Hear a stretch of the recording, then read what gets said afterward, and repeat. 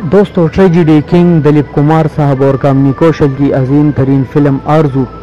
इस हवाले से भी एक यादगार फ़िल्म थी कि उसमें गज़ल किंग तलत महमूद साहब ने अपना पहला गीत गाया था, ए दिल मुझे ऐसी जगह ले चल, जहाँ कोई ना हो। इस फ़िल्म की हिदायत शायद लतीफ़ ने दी थी और इस फ़िल्म की कहानी असमत चुख्ताई ने लिखी थी। ये खूबसूरत फ़िल्म थी सोने पे सुहागा ये कि इन दिनों दिलीप कुमार और कामनी कौशल का रोमान पूरे उरूज पर था और अखबार उनकी शादी की कयास आरैया कर रहे थे, जिन्हें कामनी कौशल के घर वाले बड़ी खफत के साथ बर्दाश्त कर रहे थे। इन ही दिनों कामनी कौशल का बड़ा भाई जो फौज में मुलाजिम था, वो इस फ़िल्म के सीट पर पहुँच गया। इससे फ़िल्म बंद होने वाला रोमानी सीन बर्दाश्त न हो सका। उसने अपना पिस्तौल दिलीप कुमार पर तान लिया कि कामनी कौशल सामने आ गई। इस तरह इस सीन का ड्राप सीन हुआ।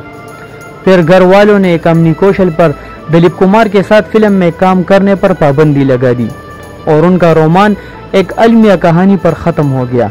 इन दोनों ने सिर्फ़ चार फ़िल्मों में इकट्ठा काम किया था, नदिया के पार, शबनम, शहीद और आरज़ू। इनमें आरज़ू एक रोमानवी फ़िल्म थी।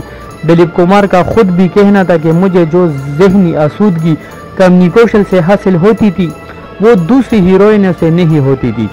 कमनी कौशल लाहौर के एक बहुत बड़े तालीमी इदारे से फारग तहसील थी। एक बार दिलीप कुमार दिल के हाथों मजबूर होकर कमनी कौशल को शादी की नीयत से के आसिफ के घर लेकर चला। अब अखबार ने उनके इश्क की अफसाने को इस कदर बड़ा चढ़ा कर पेश किया कि बहुत मुमकिन था कि मुंबई शहर में हिंदू मुस्लिम फसादात शुरू हो जाते। महाराष्ट्र के वज़ीर अला मिर्ज़ा जी डिसाई खुद के आसिफ के घर गए और दलीप कुमार को समझाया कि कामनी कौशल को छोड़ दो। कहे, शहर में हिंदू, मुस्लिम फसादात न हो जाए। और कहा कि, याद रखो, जितने भी लोग इस फसाद में मरेंगे, उनका खून तुम्हारे कांधे पर होगा। ये जुमला सुनकर दलीप कुमार ने कामनी कौशल को छोड़ दिया। यूँ ये तूफ़ान तम गया। इसके बाद कामनी कौशल की शादी उसके बहनोई मिस्टर सोद से कर दी गई। क्योंकि कमनी कौशल की बड़ी बहन का एक एक्सीडेंट में इंतकाल हो गया था। बहन के दो बच्चे थे और उनकी परवरिश का मसला था। इस बिना पर कमनी कौशल को यह रिश्ता कबूल करना पड़ा।